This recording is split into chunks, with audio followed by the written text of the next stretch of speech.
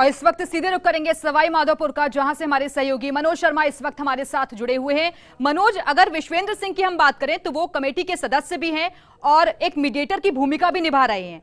हाल फ़िलहाल की जो खबरें निकलकर सामने आ रही है, उसके मुताबिक एक डेलीगेशन उनसे मुलाकात करने वाला है जल्द। इसको लेकर सबसे पहले अपडेट क्या आपके पास?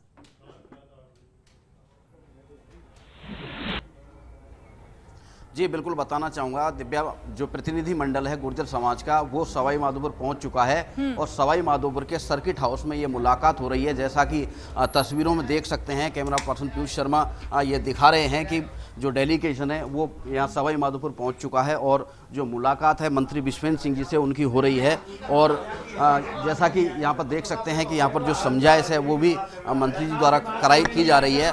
उनसे यहाँ पर हम गुर्जर नेताओं से भी जुड़ेंगे।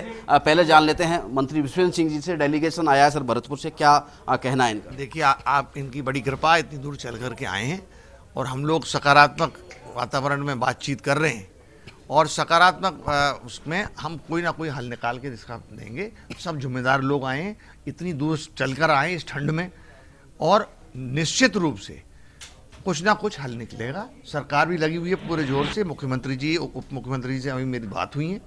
और जो मैनिफेस्टो में भी लिखा हुआ है, जो चाहिए लेकिन उसको हम ये चाहते हैं कि उसको वैधानिक तरीके से हो। जैसे आगे जाके वो ना अटके। जैसे पहले अटक चुका। बीजेपी में जल्दबाजी करके पहले जाट आरक्षण अटका दिया। फिर उसकी दोबारा रिपोर्ट बनानी पड़ी धौलपुर, भरतपुर की जाटों के लिए। अब इनका अगर जल्दीबाजी में करके फिर अटका दिया तो फिर वो उसका अच्छा इसको पास करने का अधिकार जैसे अभी वो दस परसेंट दिया है, पार्लियामेंट को है। लोकसभा और राज्यसभा दोनों में पास होगा बिल। जब जाके ये वैधानिक होगा। सरकार, राजस्थान सरकार सक्षम तो है नहीं इसको करने में। लेकिन पास कर सकते हैं और करेंगे और उनको भी करना चाहिए। क्या दिक्कत आ रही? तो अभी देखिए, अभी बातचीत शुरू हुई है। अभी बातचीत हम हम लोग सब थोड़ा मुश्किल है, थोड़ा हमें बातचीत कर लें दो आप।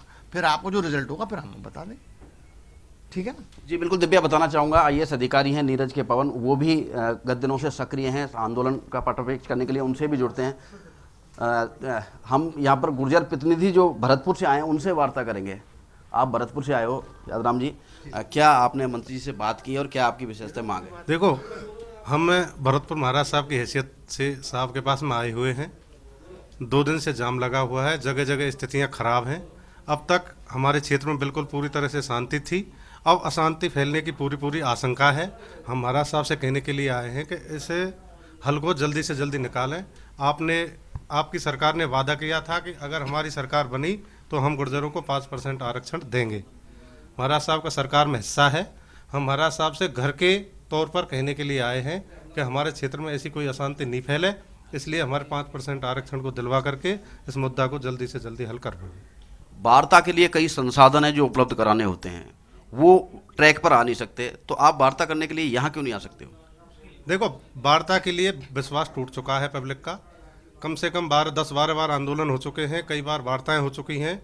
अब की बार पब्लिक कोई वार्ता के लिए तैयार बिल्कुल नहीं है। ना कर्नल साहब कहीं वार्ता को आएँगे ना कोई और वार्ता के लिए आएगा। फिर समस्या का समाधान किस तरह से समस्या का समाधान यही है गुर्जरों को पाँच परसेंट आरक्षण दे दो।